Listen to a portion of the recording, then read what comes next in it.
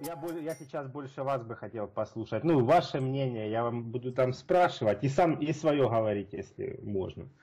Вот э, э, давай, я уже с кем-то обсуждали, может быть, я это упустил. Ну, я хотел бы вот как бы с глазу на глаз.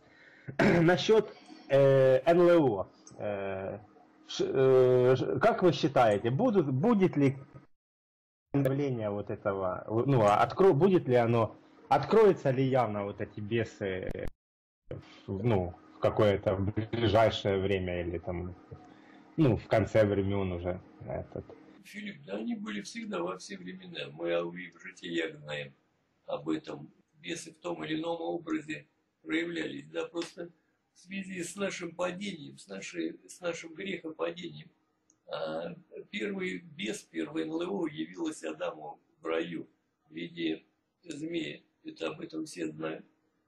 Просто мир подошел к такой черте, что а, стоит на пороге падения. Грех перешел в стадию нормы. Вот, поэтому он и откроется, а, мир инфернальный, бесовский мир, потому что выхода нету, мы сами его привлекли сюда. Ну, хорошо, я чуть-чуть конкретнее поставлю вопрос. Мне был сон, э, есть сны, сны, которые как бы запоминаются, да, вот они в памяти остаются. Есть, ну, а есть как бы сны, что не запоминаются. Ну, вот этот у меня как бы запомнился картинкой, э, что тарелка стоит, и люди очередь в нее идут. Я, правда, не помню, это я, или это мне там слушал кого-то, например, ну, о ком-то, Э, от, от кого-то такое, что будет, и мне приснилось. Или это мне приснилось э, раньше, а потом, вот я не могу вспомнить, а потом я слышал подобное, это, что такое... Это, скорее всего, или программа какая-то, это информация на подсознательном, на корке записывают сегодня. Надо вот поменять это, вот этих вещей, фильмов, просто они же готовят. Человек встретит именно то, а, что он и планирует. То есть сегодня мир готов просто к встрече, да, и бесы, они предстанут в том образе, который их сегодня народ и ждет, и будут делать то, что вот мне дядька рассказывал еще лет 10 назад, он, у нас тут вот в деревне, я не знаю, с чем это связано, у нас э, сильные бои здесь были, танковые сражения, вот, в нашей деревне, тут, где мы живем, и очень много здесь и ну, танков, и под землей сейчас, и снарядов, и солдат полегло огромное просто множество. Вот. И часто вот, ну, людям деревенским это уже вот эти и тарелки, и все. Ну, ну, как, опять же, и дядька мой видит, я не помню, уже лет 15 назад он здесь видел тоже, тарелка спустилась над огородом, вся, говорит, переливается разными огнями. Ну, это может быть не тарелка, кто знает, какой там формы, он видит, что огни всякими огнями переливается. Он говорит, заберите меня. Ну, это ж, это ж у вас Воронежская область. Ну, мы между Воронежем и Липецком. Просто я помню в 90-х, там вот именно вот этот Воронеж, почему-то там больше всего, ну, у меня были там всякие вот эти газетки, где, ну, раньше, еще в 90-х, что в Воронеже там что-то их сильно много. Ну, да, я там недалеко от этого парка жил, где говорят, приземлялась. Да? Это каких не ищи ответов на эти вопросы, все равно ничего не найдет. Ну, не, я дело в том, что я не ищу, я просто, э, меня, меня вот интересует вопрос, будет ли явление как бы через государство, ну, якобы, как вот сейчас говорят, там, сейчас чаще начали об этом писать, что там ищут конта- ну, новые формы жизни, но это как, как удар против Бога, против религии, то есть они скажут, вот мы вышли на контакт, например, вот там они, ну, есть там, они, ну, мол, и все, сразу люди скажут, какая, мол, религия, какой там вот эта Библия, если вот уже инопланетяне с нами вышли на контакт. Я, я имею в виду, ваше мнение, будет ли такое? Понятно, что их там видели и раньше, а вот именно будет ли э, с государством это связано? То есть, что и сегодня как бы, в, каждом, в каждом государстве есть человек, который официально занимается этими вопросами, они же не скрывают этого. Рассказываю вам первый и последний раз. Вместе с передачей «Чемодан с ядерными кодами» президенту страны приносят специальную папку. На ней написано «Совершенно секретно». и она целиком и полностью посвящена пришельцам, которые посетили нашу планету. Одновременно предоставляется доклад абсолютно закрытой спецслужбы, которая занимается контролем пришельцев на территории нашей страны. Значит, две эти папки передаются вместе с э, ядерным чемоданом. Это уже в открытую, все знают об этом. Вот, и, и государство сегодня на всех каналах, но если бы это было не актуально, кто бы об этом говорил? Ну, просто людям не с той стороны как бы подходят, то есть говорят о том, что существуют другие миры. Вот, но православие не так, конечно, понимает это.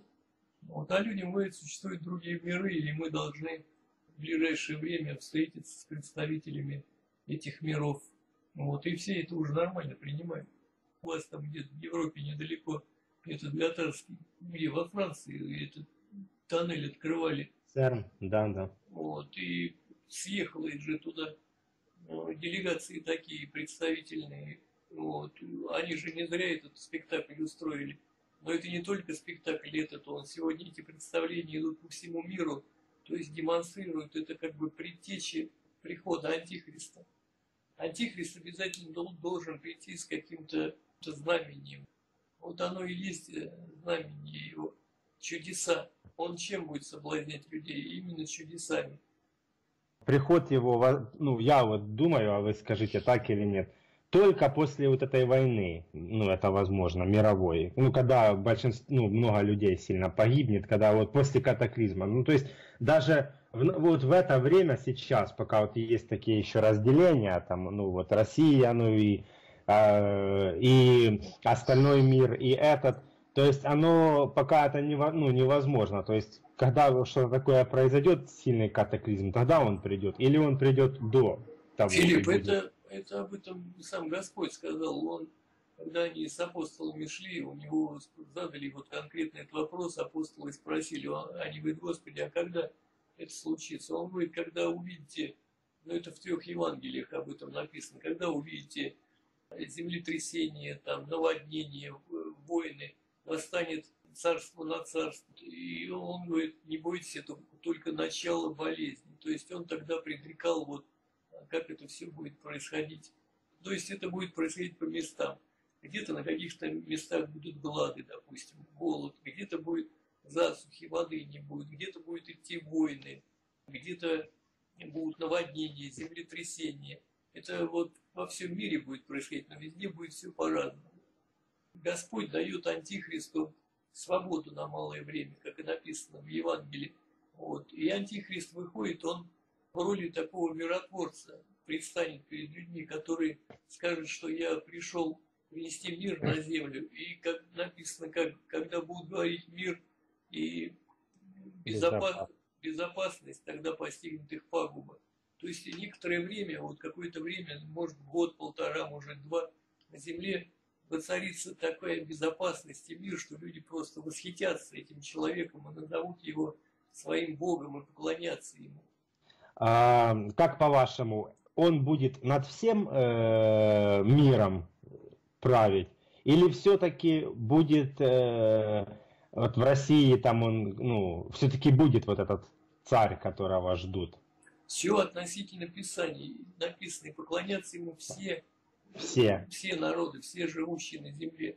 Будут, конечно, до последних времен те, которых будет покрывать Господь, но они будут беглецами в этой земле, они будут неофициально, то есть под прикрытием Господа как-то будет этот малый народ существовать. Ну, то есть не будет, э, вот как э, сейчас такое, такое популярное среди вот э, православных, как православных радикалов, как ну что вот царь э, будет царь и он антихриста не допустит к нам будем мы отдельно будем э, мол жить а антихристом отдельно будет ну, такого, такого не будет. такого как представляет сегодня вот православный вот этот радикализм такого конечно не будет что Россия будет над всеми там она будет завоюет весь мир ну вот как некоторые говорят да. А будет ли э, вот это проповедь, э, или она уже была, э, ну вот эта, о которой написано, будет какой-то еще всплеск, вспышка правос... ну, проповеди по всему миру, Будет или это уже... Это, скорее всего, придет в то же время, когда придет антихрист, то есть будет антихрист говорить, и от Господа будут люди, духи, которые будут ну, последние предупреждения давать миру. Ну, а, ну, помните, я вам написал в скайпе свое предположение, как э, ну, вот эти фильмы о супергероях, вот это, что сейчас идут. И на самом деле, что, ну, то есть Антихрист что-то будет типа такого супергероя. Ну, понятно, не в костюмчике он там будет. Я, я просто сделал такой чуть-чуть анализ, ну, не сидел прям над этим, ну так, подумал, раздумал, что вот эти все там негативные герои в этих фильмах о супергероях, они там были, например, хорошими изначально, а потом они благодаря какому-то потрясению они становились злыми гениями, например, там, ну что-то с ними случалось, там, в раз, их очень много этих фильмов, но они в них там процентов 80 вот такой именно сюжет, особенно это там Бэтмена касается, и и потом же этот супергерой с ними борется. Ну то есть получается, я думаю, есть такое понятие, как вот этот Илья и, и Енох придут, когда они будут мучить живущих на земле. Они будут, как бы, может быть, изначально они будут какими-то и вроде бы и хорошими, но потом, как начнут мучить людей, как они будут для людей, как вот эти злые, ну, как вот эти негативные герои в фильмах о супергероях. И что, что значит мучить людей? Как мучить? Ну, там именно проповедью вот сегодня, э, сегодня как, допустим, безбожного человека, любящего грех, как мучают христианин, он, э, он вида христианина не выносит просто. И этим самым вот этой святостью своей они и будут мучить. Это не то, что... Но, ну там написано, у них будет власть забирать э, дождь там, с земли, мучить э, и мучить живущих там и, а кто захочет их убить, они будут там, ну, их будет поражать, они будут поражаться огнем, ну, до времени, пока, и потом этот же антихрист их убьет, ну, там так написано. То есть они будут какими-то, как бы негативными злодеями в лицах. Это не злодеями, это для людей, которые будут с антихристом, для людей, которые ну, которым э, антихрист пропишет свою программу, да, он даст им там огромные деньги, там без суд, без кредитов, без без налогов, без ее квартиры, может быть, кому-то работу даст там выгодную. Вот. А эти пророки придут и говорят, отрекитесь этого всего, это сатана вам дает. Понимаешь, и они будут, люди будут вроде и верить им, и над этим будут мучиться. Ну, знаете, Сергей, я думаю, для того, э, как бы, как вы говорите, э, вот это, для этого не обязательно, чтобы так говорить, например, э, отрекитесь, для этого, ну, не, если будут христиане, для этого не обязательно посылать пророков, и, и без, которые будут просто говорить, потому что просто говорить могут и, оста... кто-то из оставшихся христиан, и какие-то там, ну, и лидеры обычных христиан, а это будут вот такие именно... К тому времени не останется никаких обычных христиан, всех убьют к тому времени, когда антихрист придет, а этих нельзя будет, потому что они будут под покровом Духа Святого находиться, их не смогут уничтожить какое-то время.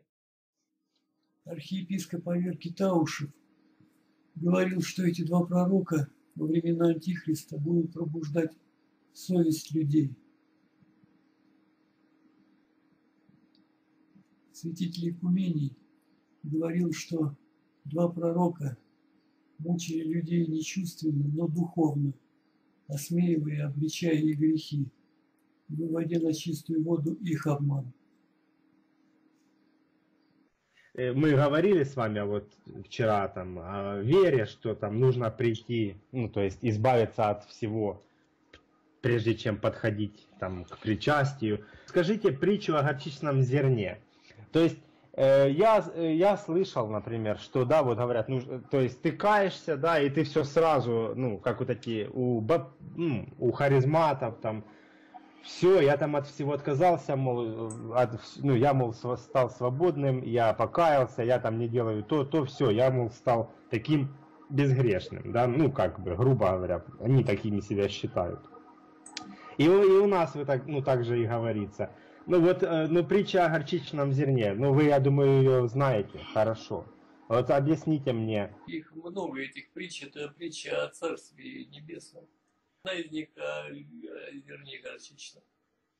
Ну да, ну смотрите, ну вот также притча о блудном сыне. Э, вот он, он пришел, э, он вернулся к отцу. Отец его ждал, он его не, осу, не осуждал, там, не, ну, не гнобил, скажем так, дал ему, дал ему все и этот, простил, скажем так. И, ну, дальше, у него было такое, что, например, ну, это уже если так, размыслить без... Э, я не буду там ничего исправлять, но дальше вот таки размыслить чуть-чуть дальше эту историю. Он ему сказал бы, например, сын, ну если ты еще раз так сделаешь, например, уйдешь там куда-то, я у тебя там все заберу, я тебя, я пошлю своих, например, помощников, тебя убьют там, или все, я тебя лишу там славы своей. Я не знаю, понимаете ли вы, что я имею в виду? Я, я имею что-то в виду, но не, ну, дальше я не хочу как бы рассказывать. И вот притча о горчичном зерне, это то, э, то же самое. Ну, то есть, э, он там много разных притч о Царстве Небесном, много. И, ну, и они, кстати, ну, как бы это, а, оно показывает Царствие Небесное, как в человеке получается с разных сторон. Ну, с, э, с под разными углами, например. Кто-то сразу нашел сокровище и продал все имение, там купил это. Это такое, как он нашел тот э, клад, он продал все, он сразу и все и выкопал. А, а это бросилось, оно растет, и даже ты даже не видишь, как оно растет, это зерно горчичное. Оно как бы все ненужное, оно отпадает медленно так, что ты даже не замечаешь этого. Ну то есть оно, ты не так, я все, я там рублю с плеча, от этого отказался, от этого. Но ты понимаешь со временем, у тебя со временем какое-то отторжение от того, что ты любил, да, от одного, потом от второго, потом как бы от третьего, и ты проходит какое-то там 5 лет, 4 года, и ты понимаешь, ой, ну это, мне уже это совсем не нужно, это не нужно, это не нужно. Вы, ну, вы понимаете, это я... Вот давай вот остановимся на том, что эти притчи, да, ну, они не под разными углами, это для разных типов людей. Это все равно, когда э, идут притчи о сеятеле, когда вышел сеятель сеять, одно упало при дороге, одно на тернистое упало, другое Эм, добрую землю, так и о людях э, с Царствием Небесным. Ну, нет, дело в том, что после вчерашнего нашего разговора я как бы там переживал, я думал и обдумывал ну, многое. Я как бы давал время, я не стал там сразу какие-то выводы делать. Я думал, думал, обдумывал. Я все-таки пришел к выводу, Сергей, что, ну, как бы, ну, с другой стороны, хорошо, это я, я был, как бы, вы для меня были там чуть ли не святым человеком, но я вижу, что вы тоже, не, не то чтобы заблуждаетесь, вы, может быть, о чем-то, вы глубже не задумываетесь, но вам, вам оно и не нужно, вам лично, это, ну, оно, вам, вам хватает того, что вы, э, что у вас есть. Я вот у вас хотел спросить вашего мнения. Э, вот смотрите, знаете, как в школе, например, есть двоечники, например, ну вот класс 30 человек, там, например, 2-3 двоечника, э, там вот эти хорошисты, троечники, их, например, там 20 человек, да, и, например, 2-3 э, отличника, ну, в среднем, если так взять, раньше так было, я сейчас как в школе, я не знаю. И вот если взять вот так в христианском мире, вот есть ну, или вообще в мире, в человеческом, есть там вот эти двоечники, например, какой-то процент плохих людей, есть, например, отличники, ну, я имею в виду в духовном каком-то плане, в каком-то человеческом таком, ну, как бы хороших людей. Остальные такие, туда-сюда, ну, троечники, двоечники. Как по-вашему, э, вот эти двоечники, это основная масса вот это людей, это основная масса людей, они не имеют шанса на спасение, э, если они как бы средненькие такие христиане. То есть могут спасаются только вот эта, вот эта часть отличников. Филипп, ты этими вопросами даже даваться, зачем они нужны нам эти вопросы? Надо ну, мне интересовать нужно... личное спасение, а зачем еще масса? Ну, это... Господь ну, судья, это его суд, мы не можем ни о ком, мы не можем даже вот сказать, он спасется, а он не спасется. Ну нет, дело, дело в том, что я, это лично меня интересует, потому что, например, я себя уже засунул в какую-то часть я э- могу, этих Я же говорю, людей. я от себя ничего не говорю, я могу только писанием говорить, и все. То, что на любой вопрос могу писанием ответить. Господь сказал, много званых, мало избранных, и все. А, а что тут еще размышлять? Кто знает? Я не, я, я не спрашиваю так, там, спасутся буддисты, там вот это, как есть такие вопросы.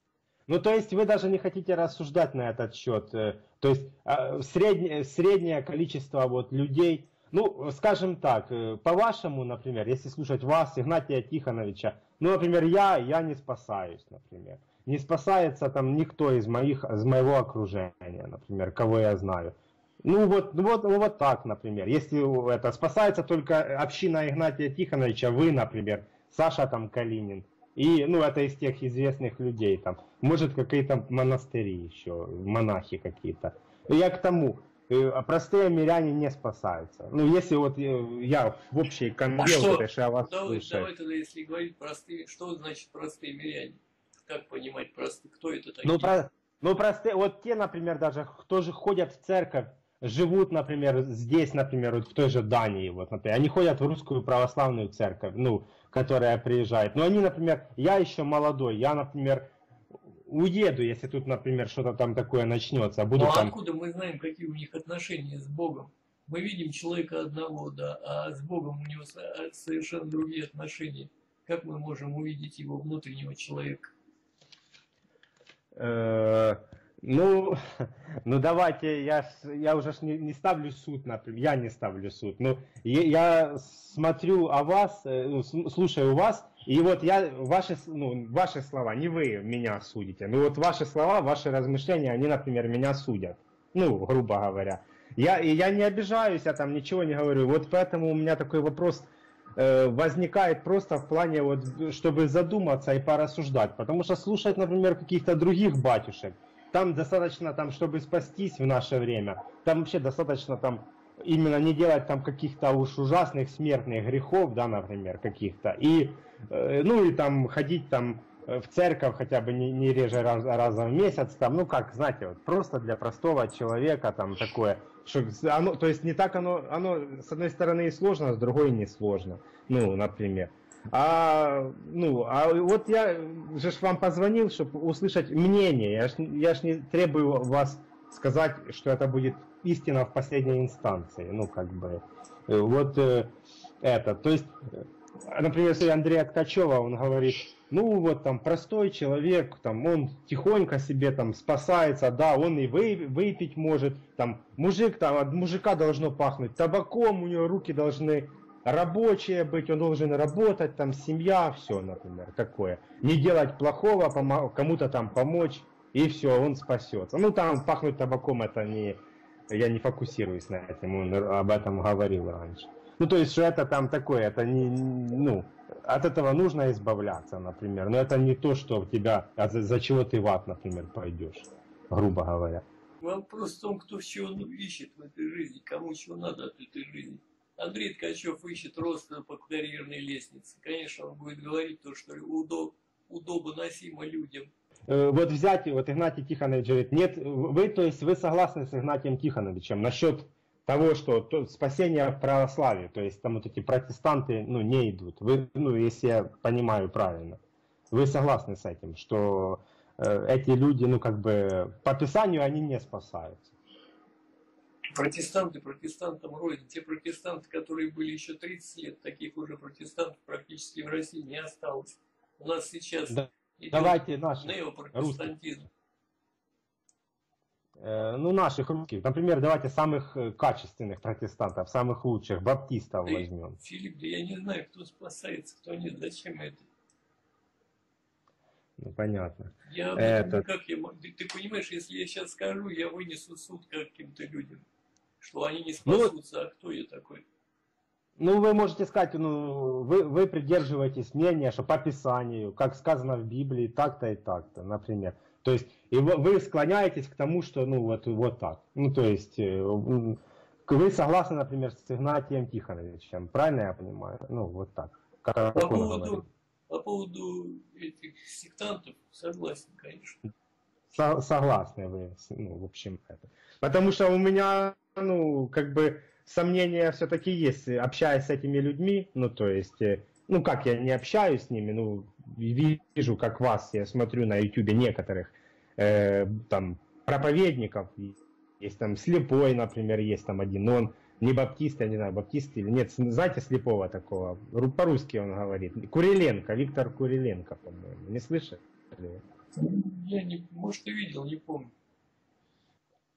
Понятно. Еще, Сергей, вы, э, ну, я так понимаю, вы много, вы, ну, как бы смотрите вот этих, вы видели много разных видео, э, ну, на YouTube, там, вы вставляете, вы делаете вставки разные. Скажите ваше мнение о вот этих вот пророчествах, тоже протестантских пророчествах, вот эти видения все, э, ну и сразу, и сразу же вот эти посмертные, посмертные как приклю... не приключения, ну, ну, видение потустороннего вот этого мира там, в клинической смерти или еще что-то, ну, как, как и вы, как и вы видели там что-то. Слава Богу, ничего особенного не видел, я только тело свое видел, это я благодарю за это Господа.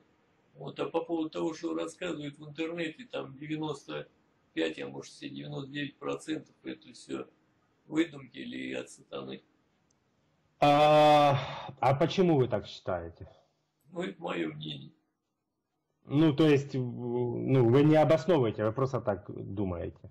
Ну, мне так Господь на сердце кладет и все. А, ой, я понял, потому что э, Серафим Роуз, э, он как бы тоже об этом пишет, ну, что это такое есть. И Моуди вот этот, э, ну, вы же в курсе, наверное. Конечно. Ну, Э, Моуди. Ну, то есть они пишут, что такое есть, то есть это не выдумки. Это, ну как, это, это есть такое, но то, что когда люди говорят, что они видят Бога, да, что их там ангелы водят, это не Бог и не ангелы, это они попадают на второе небо, и бесы им там показывают различные вот эти ситуации.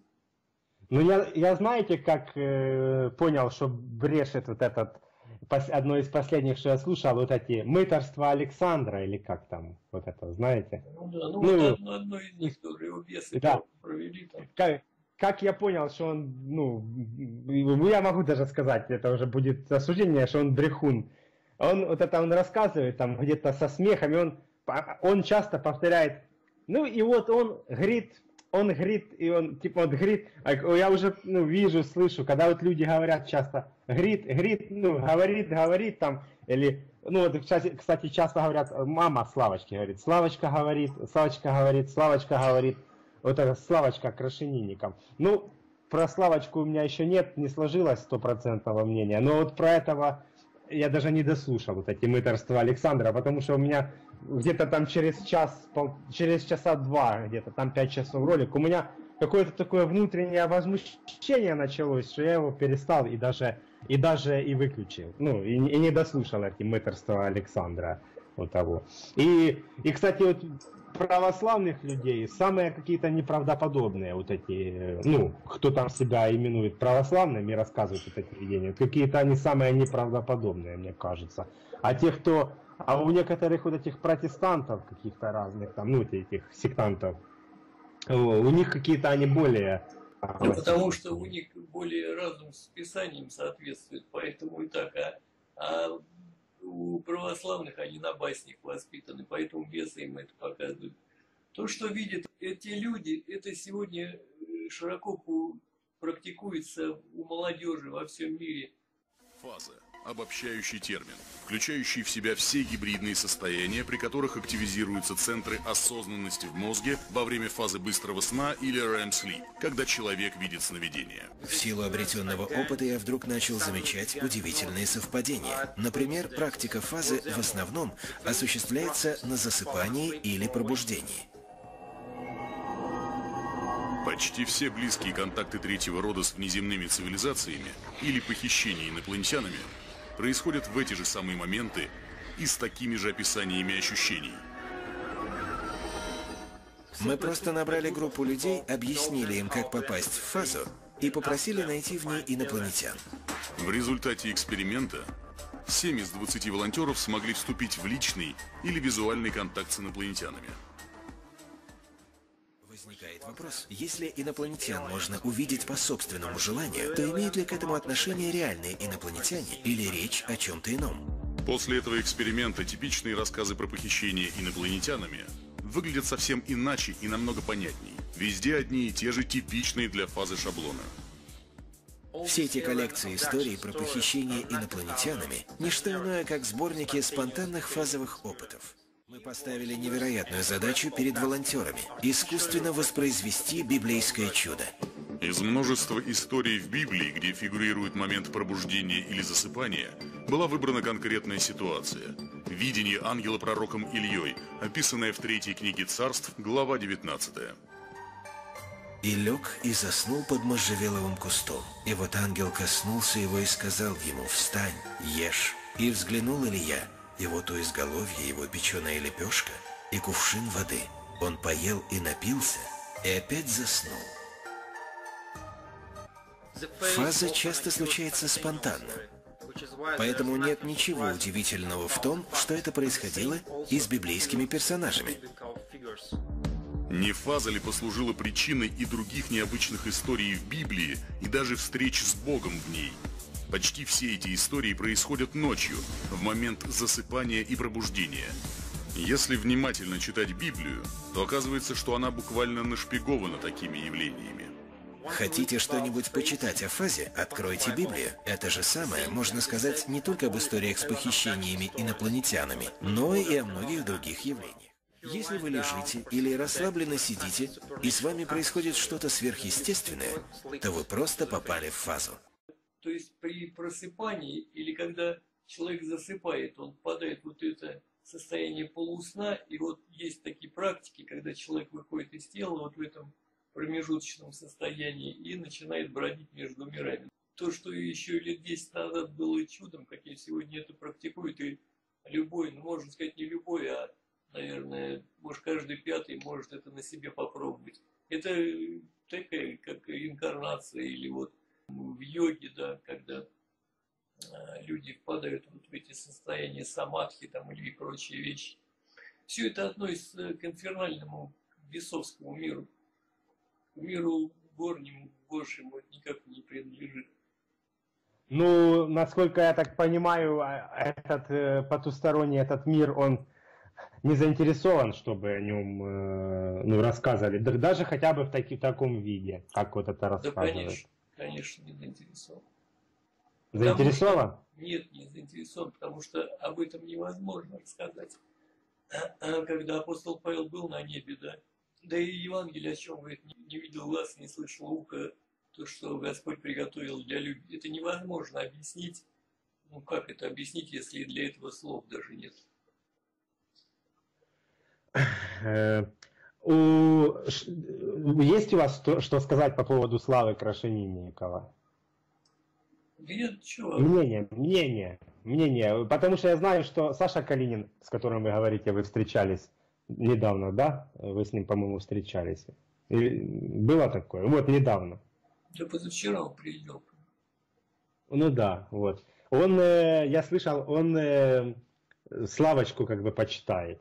Игнатий Тихонович Славочку не, не приемлет, ну, как и другие все остальное, ну, священники. Там больше вот э, к матери, к его, понимаешь, как претензий. Ну, женщина перенесла вот такое вот, она, возможно, что-то своего превознесла много, потому что слишком вот этого наносного, чего нет в Писании. Вот. Ну, а то, что ребенок был такой от Господа, я допускаю такое. Потому что были всегда во все времена такие дети и люди были. Но, по крайней мере, есть свидетельства людей, которые говорили, что он их исцелял от серьезных болезней. Да, ну хорошо. Не, ну, оставим вопрос открытым, да, на, насчет Славочки. И, может быть, где-то вы когда-то еще узнаете что-то, скажете в других видео кому-то. Слышали ли вы, э, в интернете сейчас появилось, ну у меня в основном все вопросы такие, и по, вот этим, по YouTube, ну как бы, что я там вижу, смотрю, э, появились вот эти звуки, вот эти звуки какие-то, вот эти земные звуки появились там. Слышали вы такое, что есть в интернете? Да давно это началось.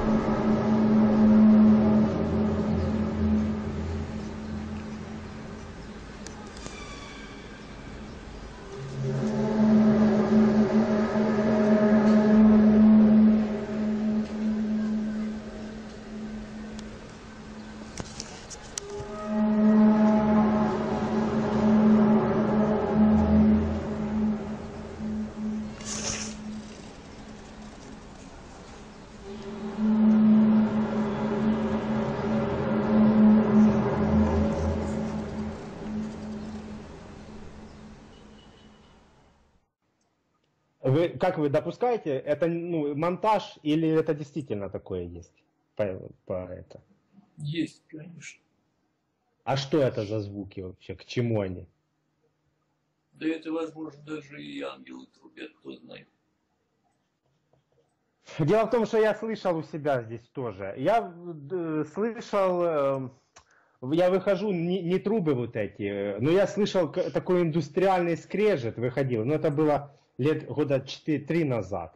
Я стоял, слушал, слушал, но я подумал, что это ну, как какой-то порт, знаете, там, ну вот скрежет такой, шу, как, шум какой-то. Ну я живу тут в Дании, скажем так, на острове вообще. Ну, ну это у нас порта здесь нету, в общем-то. И я потом до меня дошло, ну, что оно не могло быть такого. Ну, у нас. У нас такого шума не могло быть. Ну, такого какого-то именно объемного такого. Ну, У меня тут в районе там, я не знаю, десятка, там, двух десятков километров ничего такого не могло так звучать. Ну, тоже я вот услышал, ну, тогда я остановился, ну, я как бы оставил тоже, думаю, ну, может быть, что-то где-то. Ну, я вот поэтому спрашиваю. Вот даже возьмем из Писания, когда Христа распяли, до девяти вечера он на кресте был, и было затмение на небе. Затмение солнца длится, ну, несколько секунд, 30, там, пока не минует его луна, не пройдет, а это 6 часов. Вот и все на это смотрят, да, ну, затмение да затмение. А никто даже не задумывается, солнце остановилось вообще на небосводе. Чудес таких как масса всегда во все времена был. Это знамения какие-то. И опять же, можно сказать, что это трубят ангелы, о которых написано в Откровении. Хорошо. Э, вы этот, вы ж видели тот ролик, где я с Игнатием Тихоновичем э, разговаривал, даже, даже, скажем так, в полемику вступил, ну, так, да. добрую дискуссию насчет Вавилона, где сейчас вот этот Вавилон. А. Ну, Слышали вы, помните это видео? Ну, я не помню, Игра... по-моему, насчет Америки вы говорили там, да? Да, да, да, да. А, вот ваше мнение, это Россия или Америка? Ну, потому что как бы у нас ну, сейчас так э, слышится два, я два таких мнения, потому что среди этих старо, староверов, или как старообрядцев, я там в одной группе был в Фейсбуке, я у них, они там пропагандируют, что это Россия будет, это Вавилон. Игнатий Тихонович тоже, как, диссид, как старый диссидент советский, он придерживается тоже этого мнения. Ну, мнений, а... по крайней мере, не два, а как минимум пять. Допустим, все а, протестанты, они духовно растолковывают, что это не относится к стране, а это относится к блудящей церкви, к православным, католикам – вот. Но есть еще некоторые мнения. Кто-то говорит, что это весь мир. Я раньше думал, когда впервые Библию прочел, ну вот, мне сразу подумалось, что это Америка, конечно. Глаза сразу бросилось вот это, ну, слишком много. Есть, конечно, вещи, которые не совпадают, но в большинстве похожи на Америку. Но если глубже смотреть, это духовное откровение. Это не о стране говорится. Там же э, э, прямо сказано, что это, извините, перебил, что это, это Вавилон, это город. Ну, там же прямо это сказано. Ну, конкретно даже, скажем так. Ну, который стоит над, на водах многих и, ну, есть воды там, народы эти. Ну, как... Ну, это просто, и... это надо читать и конкретные стихи. Об этом никто сегодня не может ничего ну, сказать вот так, потому что там один стих Допустим, если подходит город, то есть там стихи, которые противоречат тому. Так понимаете, Сергей, почему так сделано, например? Апокалипсис так написан, я не хочу говорить слово хитро, это не, будет неправильно. Он, он, он так написан интересно, что даже постфактум, когда все происходит, мы можем, остается как бы сомнение, это ли или не это. Потому как если апокалипсис уже совершается, и то, и мы до сих пор не можем, там, например, может быть уже половину чего-то случилось, ну или там какие-то уже случились, и то мы не можем конкретно сказать, что оно уже случилось. Почему так сделано? Вы не а потому что это книга духовная, она написана для духовных людей. То есть мы настолько сегодня ослабели в духе, что и под силу нам понять это. Вот, допустим, люди э, первых веков христианства, да, они ну, имели общение с Духом Святым, им было, они не имели даже на руках Евангелия, вот э, святые первого, второго, третьего там веков, да, тогда же не, не существовало даже Евангелия. Вот, но они знали вот все эти вот откровения, все писания, они все это знали. То есть Дух Святой их научал. Они имели и толкования. Возможно, они были где-то записаны, но сейчас их нет уже, этих толкований. Но у нас есть надежда на то, что будет проповедано Евангелие, всей твари. То есть а, Господом будет попущен то, что те люди, которые будут готовы узнать евангельские истины, да, они все в себя примут, вот эту всю полноту. То есть полноту понимания, ну, до времени. Понял. Э, ну, это такой сейчас будет вопрос сложный, если нечего сказать, не, не говорить. А может быть, просто вы знаете, где-то что-то слышали. В Апокалипсисе было сказано, и, и было семь громов, ну, то есть семь громов, которые там тоже что-то сказали. Ну, Господь сказал закрыть это, э, в общем, сказал, не, не говори, что тебе сказали эти громы. Есть ли у вас мнение, почему? Или, может, вы слышали что-то? Святитель Андрей Кисарийский и архиепископ Авер Китаушев толкуют это место так, что теперь неизвестно, но будет потом изъяснено самим опытом и течением вещей. Также святитель Авер Китаушев пишет, что некоторые полагают, это семь периодов в истории человечества – Первый период – это торжество христианства над язычеством. Второй период – великое переселение народов и крещение Русской империи, на месте которой возникнет новое христианское государство. Третий период – появление магометанства и крушение Византийской империи. Четвертый период – эпоха крестовых походов.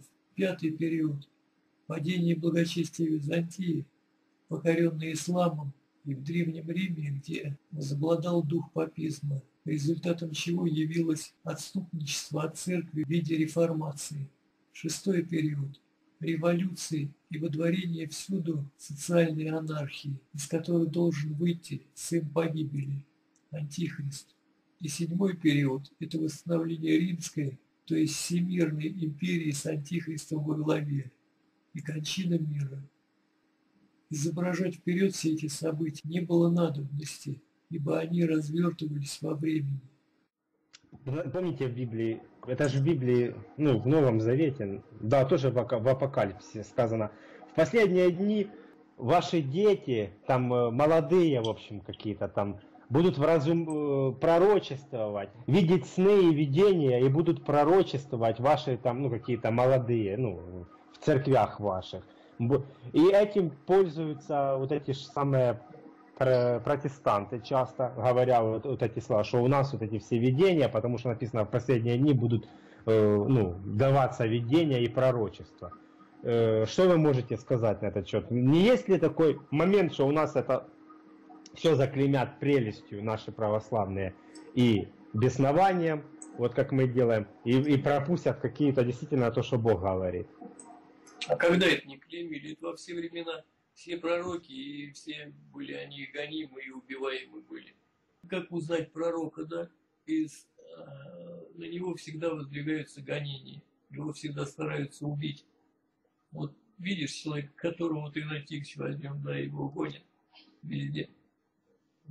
Вот, дух на нем от Бога. Да, Игнатий Тихонович, он И хорошо, что он такой неодно, не, неоднозначный. Я даже рад. Потому что, ну, хороший, конечно. Люблю я, я его. Хотя он бы меня пронес бы, если бы он как бы со мной поближе был знаком, он бы меня, конечно, разнес бы в пух и прах. Ну, люблю я его, слушаю иногда. Э, хорошо, Сергей. Еще, ну давайте последнее, хоть мы его уже упоминали. Я просто живу 600 километров от этого ЦЕРНа.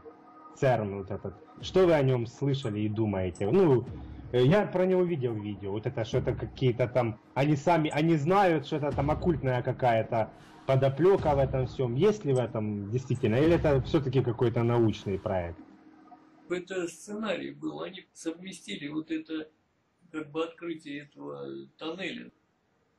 Они это отождествляют с открытием э, мира инфернального мира бесовского второго неба. То есть у них есть какая-то информация от демонов. Ну вот я имею в виду вот у этих самых масонов, да, высших ступеней. И они это показывают. Ну, видимо, демоны сказали им сделать такую демонстрацию. Сатана уже, он открывает себя миру. То есть Господь, если открывал себя в притчах в евангельских, то сатана делает э, подобие ему, да? Вот он в таких э, вещах себе открывает. Ну вы, ну вы думаете, что будет какой-то, как говорится, немая сцена и последний акт на, насчет этого ЦЕРНа? Что там произойдет в нем? А зачем в нем? Они просто использовали как театр его и все, а это к нему больше ничего не относится. А, то есть вот это уже что в нем было, да, вот эти Это, э, ну, вот эти представления Это, и это всего лишь А- а- ок- оккультный какой-то, вот как оккультное какое-то действие, да? Это предзнаменование чего-то. Почему, по-вашему, эм, э, э, когда к э, Иисусу подошел вот этот молодой, молодой парень и сказал, что как мне спастись, он говорит, соблюди заповеди. Он говорит, все это я соблюл от начала моей жизни. Он говорит, молодец, а, но осталось тебе немногое. Продай свое имение и ну раздай все там и иди и следуй за мной. И тот а, и тот опечалился. Это это сказал один апостол, а второй апостол говорит, э, что э, а если хочешь быть совершенным, тогда раздай имение и этот. Во-первых, то есть если кто-то будет читать два отдельных Евангелия, тут уже получается чуть-чуть смыслы теряются, ну разные смыслы. Там он говорит, хочешь быть совершенным, а там он говорит, ну, ну, ну, ну, там, где ты хочешь быть совершенным, получается там достаточно для спасения только там за 10 заповедей. Или там 600, ну да, 10, я так понимаю, потому что у евреев их больше этих заповедей. Ну, э, ну это уже... Почему это не под- У евреев, у, у нас и у евреев одни и те же заповеди, они ветхозаветные, их 10. Ну, ну Вот, да, а 10. это у них не заповеди, это они уже потом составили митцвоты. Ну да, Это да, приложение да. Ну вот, и, и вот э, смотрите, получается, как по-вашему, то есть только совершенное спасается. Опять же, я возвращаюсь к тому вопросу, о чем я, я сразу задал.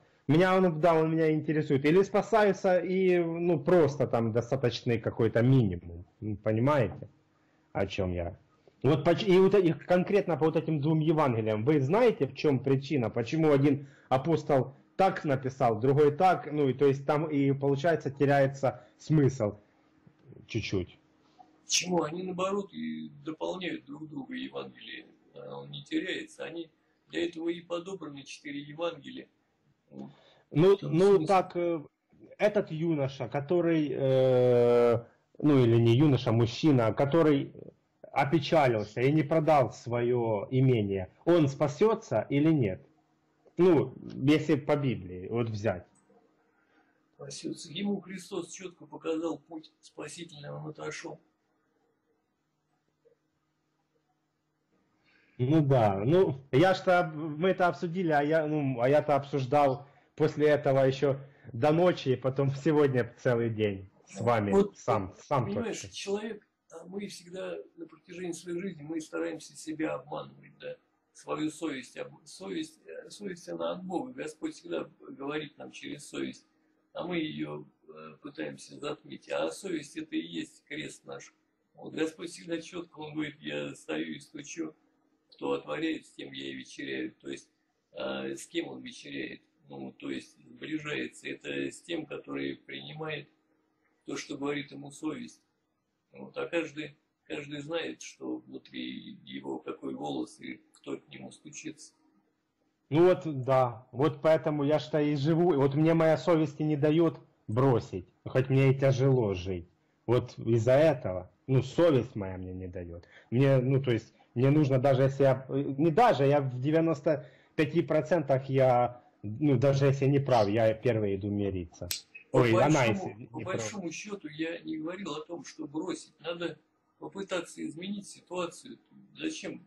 Не обязательно то, что бросать, но это радикальные меры. Не, не, я понимаю, да, Сергей, что вы Просто Вы- поставить ее как бы перед условием, то, что, ну, если не будем менять жизнь, то давай тогда расходиться.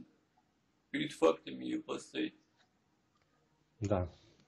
Ну, а еще я хотел у вас, э, э, вы не, ну, я не хочу вас э, обижать или как-то, ну, насчет вот, э, вы не думайте, я, я к вам очень хорошо отношусь. Ну, вот вы мне дали вчера вот это видео, вот там вот эта женщина, что к вам э, жить приехала, ну, с которой, и в передаче там было сказано, что вы пове- повенчаны, повенчались. Она не ко мне Что вы- приехала, я, мы в Курске жили, я уехал в Курск, и мы жили там 9 месяцев. А, вот так. Э, И вы, вы повенчались с ней.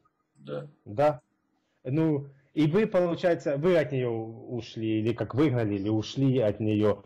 И вот у вас совесть не обличает то, что вы повенчались и вы ну, раз, разошлись? О чем мне? Она в монахи не постриглась, и я тоже живу по а, она, а, она в монахи не пошла? Ага, я понял. Ага. Ну просто я не знал, что с ней. Я, ну, потому что я думал, что вы только раз были э, женаты и у вас дочка есть. Это от самого первого, когда вы были здоровы. Я думал, ну, что так. Ну, я тогда еще это было сколько, 8 лет назад, ну, как бы вопросом таким не задавался, вроде в церкви можно три раза жениться, разводиться, да, как бы был под этим впечатлением. То есть меня священник второй раз обвенчали, и он не говорил, что нельзя жениться повторно.